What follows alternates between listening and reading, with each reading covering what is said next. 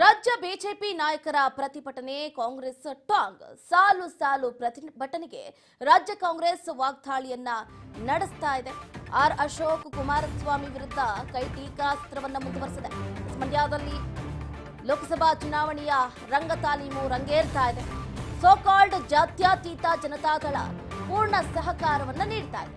ದಮ್ಮು ತಾಕತ್ತಿದ್ರೆ ಈ ಪ್ರಶ್ನೆಗಳಿಗೆ ಉತ್ತರವನ್ನ ಕೊಡ್ಲಿ ಅಂತ ಪ್ರಶ್ನೆಯನ್ನ ಮಾಡಿದೆ ದಮ್ಮು ತಾಕತ್ತಿನ ಪ್ರಶ್ನೆ ಇದು. ರಾಜ್ಯ ಬಿಜೆಪಿ ನಾಯಕರ ಪ್ರತಿಭಟನೆಗೆ ಕಾಂಗ್ರೆಸ್ ನಾನಾ ರೀತಿಯಲ್ಲಿ ಟಾಂಗ್ ಅನ್ನ ಕೊಟ್ಟಿದೆ. ಬಿಜೆಪಿ ನಾಯಕರನ್ನ ಕೆಣಕ್ತಾ ಸಾಲು ಸಾಲು ಪ್ರತಿಭಟನೆಗೆ ರಾಜ್ಯ ಕಾಂಗ್ರೆಸ್ ಟೀಕೆ ಮಾಡಿದೆ. ಯಾವುದಕ್ಕೂ ಅನುಮತಿ ಪಡೆದಿದ್ದಾರೋ ಅದನ್ನ ಪಾಲಿಸಬೇಕೇ ಬೇಡ್ವಾ?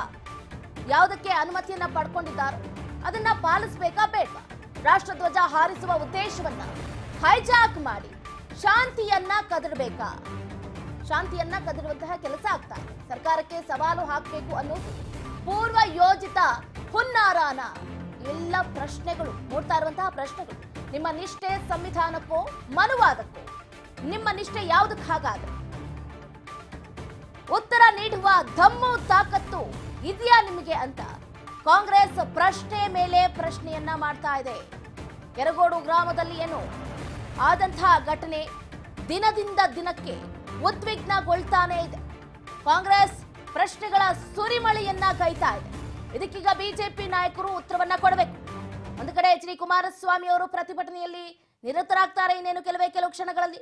ಇತ್ತ ಕಲಬುರಗಿಯಲ್ಲಿ ಬಿ ವೈ ವಿಜಯೇಂದ್ರ ಅವರು ಇತ್ತ ಬೆಂಗಳೂರಿನಲ್ಲಿ ವಿಪಕ್ಷ ನಾಯಕರಾದಂತಹ ಆರ್ ಅಶೋಕ್ ಅವರು ಪ್ರತಿಭಟನೆಯಲ್ಲಿ ನಿರತರಾಗ್ತಾ ಇರುವಂತಹ ಸಂದರ್ಭದಲ್ಲೇ.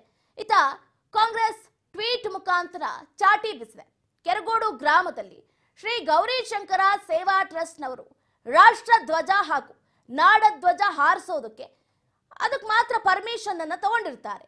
ಧ್ವಜಸ್ತಂಭ ಸ್ಥಾಪನೆಗೆ ಮುಚ್ಚಳಿಕೆ ಬರೆದುಕೊಟ್ಟು ಅನುಮತಿಯನ್ನ ಪಡ್ಕೊಂಡಿರ್ತಾರೆ.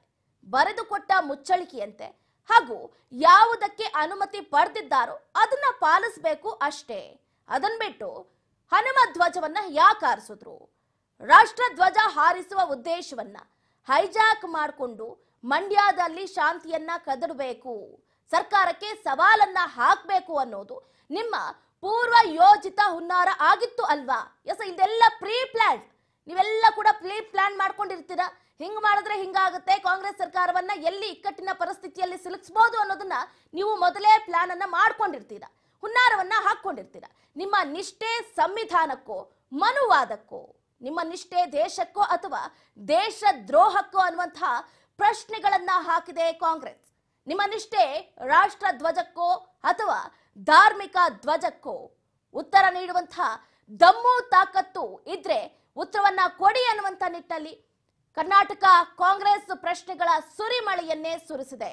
ಒಟ್ಟಾರೆಯಾಗಿ ಇದಕ್ಕೆ ನಿಜಕ್ಕೂ ಕೂಡ ಒಟ್ಟಾರೆಯಾಗಿ ಧ್ವಜಕ್ಕೂ ಅಥವಾ ಧಾರ್ಮಿಕ ಧ್ವಜಕ್ಕೂ ಅನ್ನುವಂತಹ ಪ್ರಶ್ನೆಯನ್ನ ಮಾಡೋದ್ರ ಮುಖಾಂತರ ದಮ್ಮು ತಾಕತ್ತಿನ ಪ್ರಶ್ನೆಯನ್ನ ಮಾಡ್ತಾ ಇದ್ದಾರೆ ಒಟ್ಟಾರೆಯಾಗಿ ಈಗ ಮಂಡ್ಯದಲ್ಲಿ ಆದಂತಹ ಕೆರಗೋಡು ಗ್ರಾಮದಲ್ಲಿ ಆದಂತಹ ಪ್ರಕರಣ ದಿನದಿಂದ ದಿನಕ್ಕೆ ಒಂದು ರೀತಿಯಾದಂತಹ ತಿರುವನ್ನ ಪಡೆದುಕೊಳ್ತಾನೆ ಇದೆ. ಮಂಡ್ಯ ತಾಲೂಕಿನ ಕೆರಗೋಡು ಗ್ರಾಮದಲ್ಲಿ ನೂರ ಎಂಟು ಅಡಿ ಎತ್ತರದ ಧ್ವಜಸ್ತಂಭದಲ್ಲಿ ಹನುಮತ್ ಧ್ವಜ ಇಳಿಸಿದ್ದೇ ಇದೆಲ್ಲದಕ್ಕೂ ಕಾರಣ ಅಂತಾನೆ ಹೇಳ್ಬೋದು.